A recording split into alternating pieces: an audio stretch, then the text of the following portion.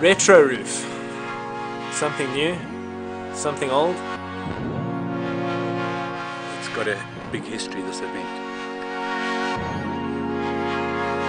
Retro roof is going back to what the Roof of Africa started out as. Off-road race through the mountains. Well, we hope to meet up with a whole lot of our old mates. First of all, to drive along the tracks through the mountains where we haven't been for many years. Drive along there, meet up with our old mates, and have a couple of beers together.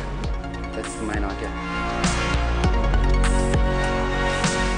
Just the idea of having a retro roof is, is most welcome.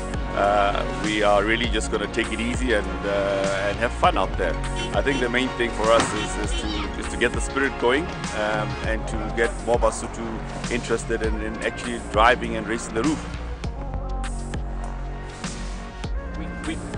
Took stock of this about a year ago, maybe longer, and we said, let's just enter the events that are legendary. Let's go and do stuff that is fun, that is different, that is probably more difficult than the run-of-the-mill stuff that everybody races.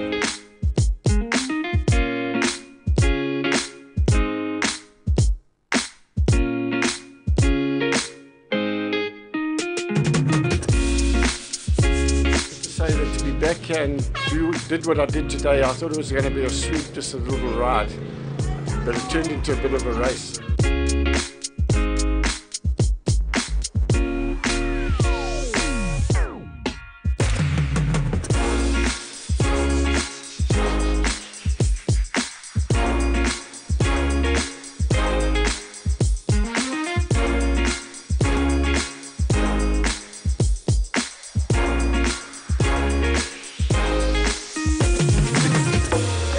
Time I was three or four, the first things I can ever remember were the cars and the bikes screaming past our house at the bottom. And of course, once they started screaming, like I said, we got all these heroes, and we decided that we would also become heroes for some young children who would watch us race.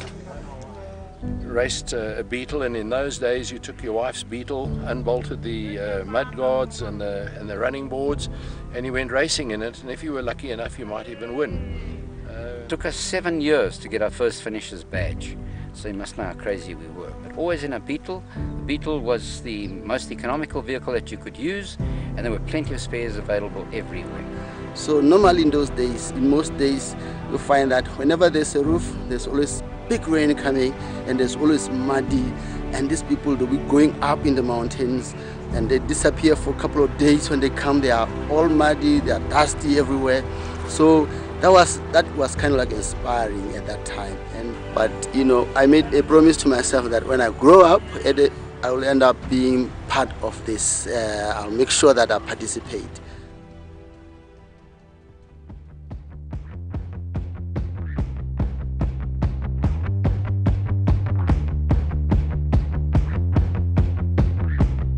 And you're sitting there and it gives you so much time to think and look more than when you're really competing.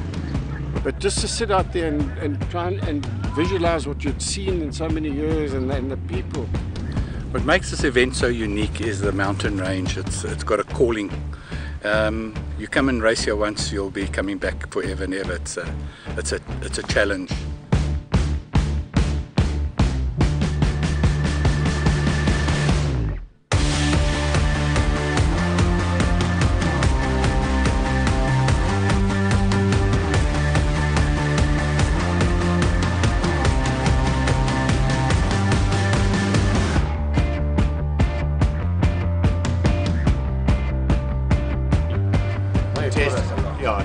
It, it everything. It teaches you a hell of a lot. Um, we will be back. So that was the whole point, to show that an old bike can do it. It's one of those events that you have to do. The problem is once you've done it, you keep wanting to come back and do it again because it's just so beautiful out here. And the terrain challenges you. You, you can't just get in here and put your foot down.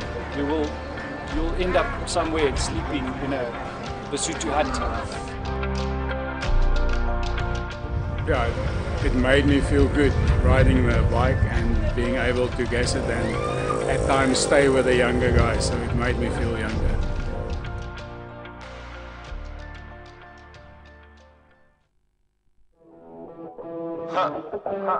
Surround the houses.